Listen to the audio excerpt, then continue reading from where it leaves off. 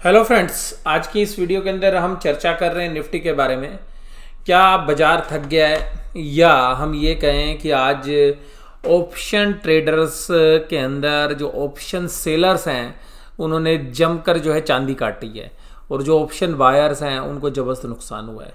और उसका main reason ये है कि जिस तरीके से मार्केट के अंदर, आज एक दायरे के अंदर जो है बाज़ार को चलाया गया, उसकी वजह से जो है ऑप्शन जो बायर्स हैं, उनको काफ़ी ज़बरदस्त जो है नुकसान हुआ होगा आज। और ऑप्शन सेलर्स ने उतना ही प्रॉफिट कमाया होगा।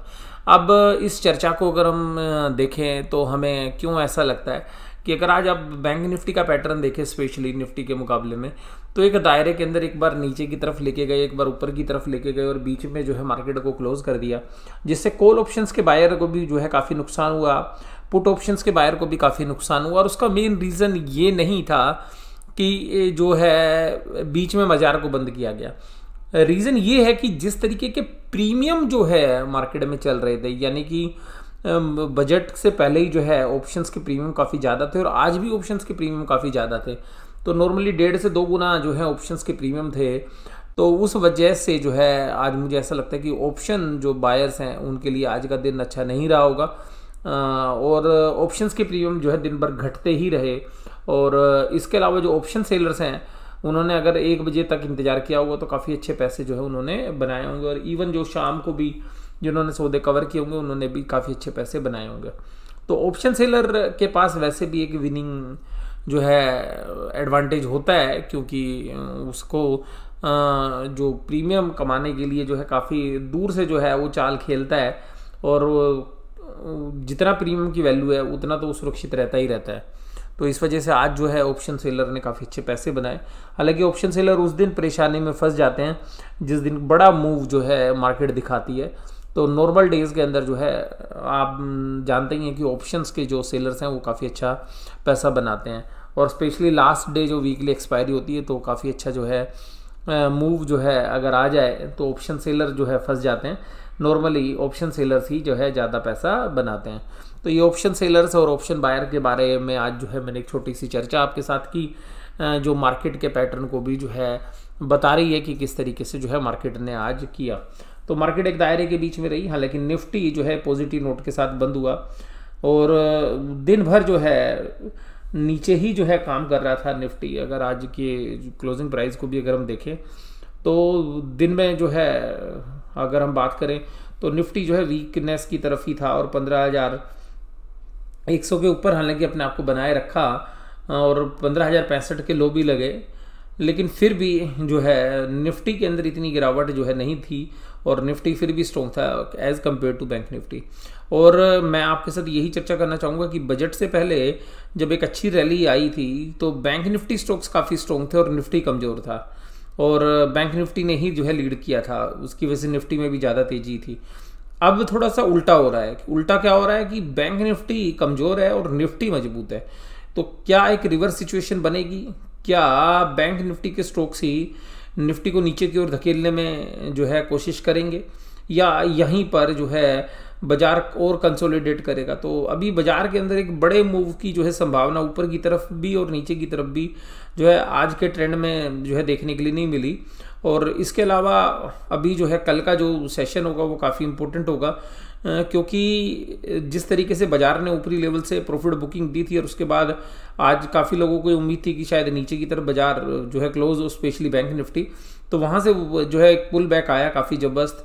तो उसके बाद, ऐसा लग रहा है कि कल जो है, या तो एक कंसोलिडेशन वाला दिन होगा, या कुछ जो है ऊपरी लेवल से प्रॉफिट बुकिंग होके मार्केट नीचे की तरफ़ आ सकती है due to the bank Nifty stocks आज जो है रिलायंस ने काफ़ी हद तक जो है मार्केट को संभाल के रखा, और मैं आज जो है आईटीसी का भी जो है रिज़ल्ट आ चुका है, उस तो उसकी चर्चा भी जो है लास्ट के हिस्से में करूँगा।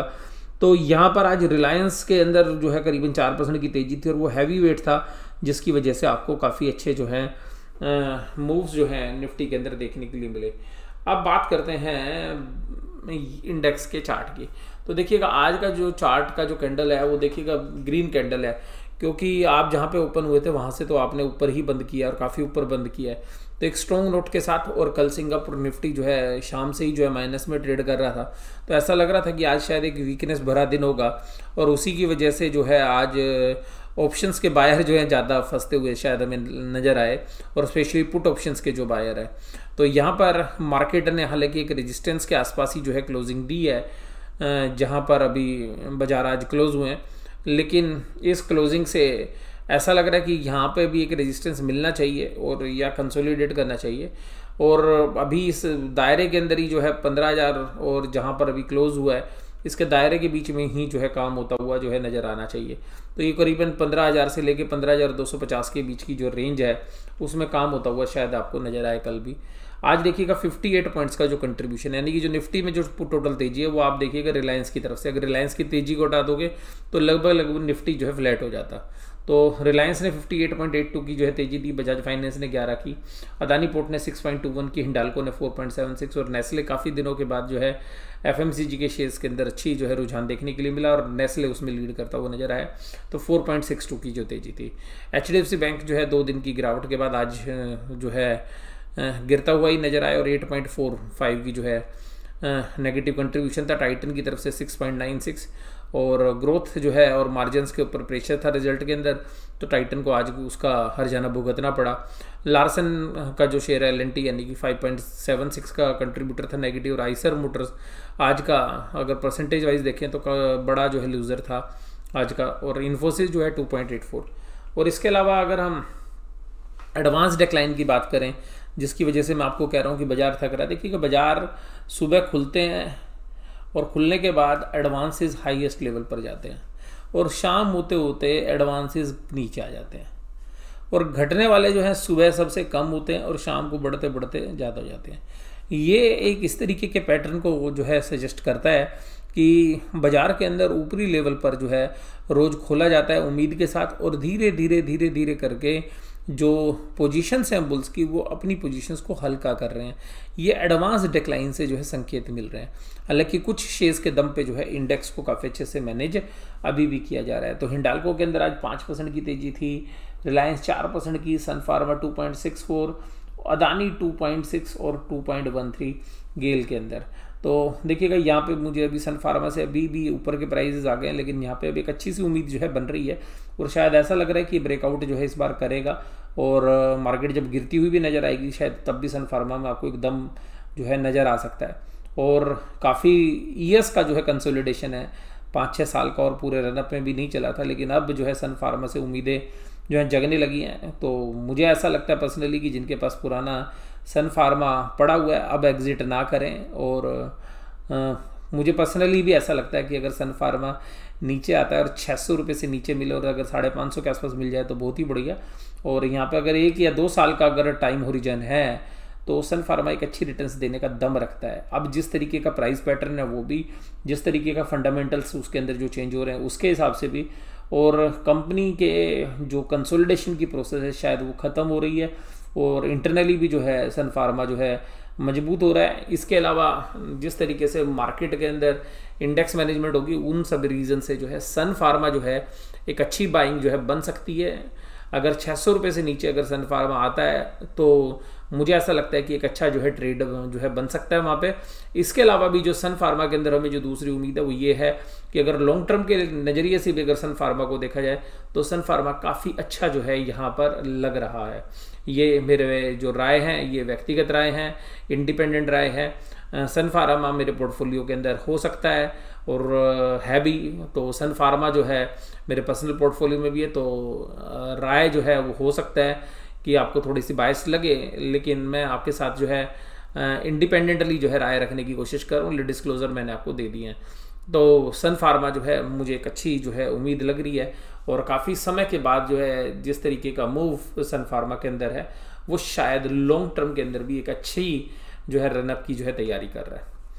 अब गिरावट वाले share Eicher motor Titan N T P C L N T Tata motors coal India H D F C life Cipla H D F C bank सभी के अंदर जो है कमज़ोरी थी। बट मेजरली जो कमज़ोरी दो परसेंट से ज़्यादा थी, वो N T P C Titan और आइसर मोटर के अंदर थी।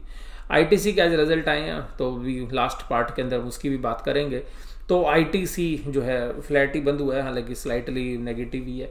बैंक निफ्टी देखिएगा केवल इकतीस पॉइंट की गिरावट दिखा रहा है। अगर आप पूरे दिन भर देखेंगे तो दिन भर जो है, उठा पटक जो है चलाते रहे और ऑप्शन ट्रेडर्स को फंसाते रहे। जैसे ही नीचे जा रही थी तो लोगों को लग रहा था कि आज तो मार्केट गिर जाएगी और पुट के जो बायर्स हैं, वो आ जाते थे। और जैसे ही मार्केट चलने के लिए तैयार होती थी और जैसे ही छत्तीस हज़ार के पार जो है बाज़ार आया भी एक दो बार, और जैसे ही छत्तीस हज़ार के पार जा रहा था, वैसे ही लोगों को लगता था आज तो बहुत तेज़ी हो जाएगी और कॉल ऑप्शंस खरीद रहे थे, और शाम को बिल्कुल बीच में जो है बाज़ार को बंद कर दिया गया। तो आप देखिएगा, three five five seven three, और हाई देखिएगा three six zero zero nine. तो जैसे ही छत्तीस हज़ार के पास जा रहा था तो छत्तीस हज़ार को तोड़ रहा था तो ऐसा लग रहा था, भाई साहब आज बड़ी तेज़ी होने वाली है। और ये देखिएगा लगभग लगभग मिडिल पॉइंट के ऊपर जो है बाज़ार बंद किया, यानी कि दोनों साइड की जो पुट और कॉल्स के जो प्रीमियम्स हैं, वो आज काफ़ी मज़बूत तरीके से एंजॉय किए राइटर्स ने। एक्शंस क्या देखने के लिए? देखिएगा, हालाँकि आज की ग्रीन कैंडल है बैंक निफ्टी की, लेकिन रुझान देखिएगा, अब ढलान वाला आ गया, नीचे वाला। तो अगर निफ्टी में कोई भी गिरावट होगी तो मुझे अब ऐसा लगता है कि उसका जो कल्प्रिट होगा, वो बैंक निफ्टी होगा। तो बैंक निफ्टी जो है, थोड़ा सा वीक है एज कंपेयर टू निफ्टी। और निफ्टी शायद आपको कंसोलिडेट करता हुआ नज़र आए, लेकिन बैंक निफ्टी हो सकता है कि एक बड़ा मूव जो है नीचे की तरफ़ जो है दे सकता है। और अभी शायद ये पैंतीस हज़ार की तरफ़ भी जो है आपको बढ़ता हुआ नज़र आए। और पैंतीस हज़ार के बाद भी अगर मुझे ऐसा लग रहा है कि पैंतीस तीन सौ पे एक अच्छी स्पोर्ट जो है बनेगी इसके अंदर, फिर उसके बाद पैंतीस हज़ार का साइकोलॉजिकल लेवल और उसके नीचे जो है चौंतीस हज़ार चार सौ तक भी जो है इस महीने के एंड तक की एक्सपायरी के अंदर थर्टी फोर फोर हंड्रेड तक के प्राइजेस भी बैंक निफ्टी के अंदर आ सकते हैं। अब यहाँ पर देखिएगा contribution wise Kotak Mahindra bank दस पॉइंट का कंट्रीब्यूशन एक्सिस नौ पॉइंट का। IDFC first bank six point eight six Bandhan one point four one H D F C bank thirty one point three one S B I eleven point three three six point nine eight यहाँ से भी same संकेत मिल रहे हैं कि बाज़ार थक गया है और स्पेशली बैंक निफ्टी स्टॉक्स थक गए हैं। थोड़े से चलते हैं, थोड़े से गिर जाते हैं बीच में। आप जबकि पिछले हफ़्ते में देख रहे थे कि एक ही शेयर के अंदर 100 100 200 200 ढाई ढाई सौ पॉइंट इवन चार चार सौ पॉइंट की भी जो है कंट्रीब्यूशन जो है देखने के लिए मिला, वो भी पॉजिटिव साइड में तो अब वो थकते हुए जो है, यहाँ पे नज़र आ रहे हैं। अब एफएनओ का डेटा भी जो है इसी तरीके के संकेत दे रहे हैं कि एफएनओ की जो बाइंग देखिएगा, तीन फरवरी को 2500 थी 1900 करोड़ थी, चौदह थी 1800 थी, वो घटते घटते आप देखिएगा, एक हज़ार करोड़ से नीचे आ गई है। इसका मतलब थक एफ़ भी गए हैं, वो मार्केट में भी दिख रहा है। और डी ने भी जो है सेलिंग कम की तो कल हालाँकि काफ़ी अच्छी सेलिंग थी, ऊपरी प्राइस पे टू ज़ीरो सेवन फाइव की। तो बाज़ार नीचे आ गए तो उन्होंने जो है सेलिंग भी घटा दी। तो ये भी इंतज़ार कर रहे हैं, ऊपर लाओ, फिर बाज़ार को बेचेंगे। तो बाज़ार ऊपर जैसे ही आएँगे तो बेचने के लिए डी अभी भी आ जाएँगे। तो आज एफ़ ने जो है कम बाइंग की। और उसके अलावा देखिएगा बहुत रेयर ऐसा होता है कि दो करोड़ की जो बाइंग है इंडेक्स फ्यूचर में हुई हो, आप बहुत ही कम देखेंगे ऐसा। आप पूरी स्क्रीन पे भी देखेंगे तो आपको नज़र नहीं आएगी इतनी छोटी फिगर इसके अलावा अगर स्टॉक फ्यूचर्स की बात करें तो यहाँ पर भी जो है सेलिंग जो है देखने के लिए मिल रही है। तो जनरली अगर पूरे इंडिकेशन को देखें तो बैंक निफ्टी के शेयर्स में सेलिंग है तो ये जो सेलिंग है, शायद बैंक निफ्टी स्टॉक से आ रही है। तो मैं वहीं पर आपके को ले जाना चाहूँगा कि बैंक निफ्टी स्टॉक्स शायद वीक हों, आपको अगर बाज़ार को नीचे जाना है तो। ये देखिएगा आपके सामने पेट्रोनेट एलएनजी के जो रिजल्ट्स हैं, वो आज पेश किए गए। तो Q3 का जो नेट प्रॉफिट है वो 8.82 बिलियन यानी कि आठ सौ बयासी करोड़ रुपए आया, जो कि 6.8 था पिछले साल। तो एस्टिमेट था 7.5 और उसके सामने अच्छा है तो रिज़ल्ट काफ़ी अच्छे हैं। तो हो सकता है पेट्रोनेट कल आपको पॉजिटिव न्यूज़ देता रहे प्राइस पैटर्न के एंगल से बात करें। अब बात करते हैं आईटीसी के दोनों रिजल्ट्स की स्टैंडलोन की भी और कंसोलिडेट की। तो स्टैंडलोन जो प्रॉफिट्स हैं वो 36.63 बिलियंस हैं। जबकि पिछले साल 41.42 थे। तो यहाँ पे एक डी ग्रोथ देखने के लिए मिली है, लेकिन रेवेन्यू जो है 125.8 जो कि पिछली बार 120 थे। तो करीबन करीबन चार परसेंट का जो है मूव आपको देखने के लिए मिला है रेवेन्यू में। तो रेवेन्यू ग्रोथ तो चार परसेंट की है स्टैंड लोन बैलेंस शीट में, और इसके अलावा कंपनी ने पाँच रुपये का डिविडेंड भी दिया है। तो डिविडेंड को एंजॉय करिएगा, और इसके अलावा अगर कंसोलिडेटेड बेसिस पे बात करें तो thirty five point two seven crore के जो है प्रॉफिट्स हैं यानी कि thirty point two seven three five two seven crore के, और जो कि पिछले बार थे three nine seven six crore के। तो पैंतीस सौ सत्ताईस करोड़ के प्रॉफिट आए जो पैंतीस सौ छिहत्तर करोड़ के प्रॉफिट थे ईयर ऑन ईयर तो उम्मीद जो है तीन हज़ार सात सौ करोड़ के प्रॉफिट्स की थी तो उसके मुकाबले में जो प्रॉफिट कम है तो हम ये कह सकते हैं कि न्यूट्रल रिज़ल्ट है, ना कोई पॉजिटिव है, ना कोई नेगेटिव है। एक चीज़ है, पाँच रुपये का डिविडेंड है, पाँच हज़ार रुपये का डिविडेंड लीजिए एंजॉय करिए। नीचे गिरता है, दो सौ रुपये के आसपास आता है, खरीदने की कोशिश करिए और लॉन्ग टर्म के लिए भरते जाइए शेयर्स को। और अब चलेगा ये। मैं आपको फिर बोल रहा हूँ 200 से नीचे आए तो खरीद सकते हैं और 170 के नीचे ज़ोरदार तरीके से खरीदना अगर मिलता है तो। और पाँच रुपये का डिविडेंड जो है, काफ़ी अच्छा डिविडेंड कंपनी पहले भी जो है ग्यारह रुपये का शायद मेरे को एग्जैक्टली याद नहीं, दस या ग्यारह रुपये का डिविडेंड ऑलरेडी दे चुकी है फाइनल डिविडेंड तो इस चर्चा के अंदर, आज की चर्चा में मैंने जिस शेयर्स को कवर किया तो उसमें दो शेयर्स थे basically one is an I T C and second is Sun Pharma तो सन फार्मा मैंने बोला है कि प्राइस पैटर्न ये कह रहे हैं कि एक मजबूती आ रही है। शेयर्स के अंदर टेक्निकली भी और फंडामेंटली भी चीज़ें इंप्रूव हो रही हैं।